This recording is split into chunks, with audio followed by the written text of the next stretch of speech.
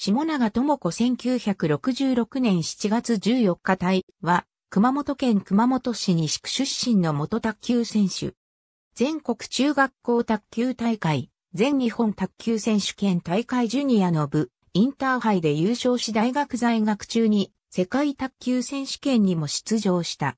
夫は元卓球選手の松下裕二。義兄は元卓球選手で T リーグチェアマンの松下浩二。熊本市立城山小学校卒業後、熊本市立三和中学校3年の時に全国中学校卓球大会のシングルスで優勝した。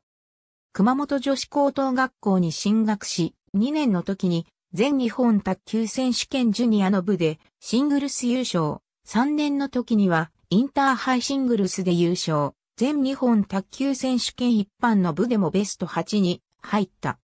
青山学院大学文学部に入学し1年時の1985年に行われた第38回世界卓球選手権に出場した。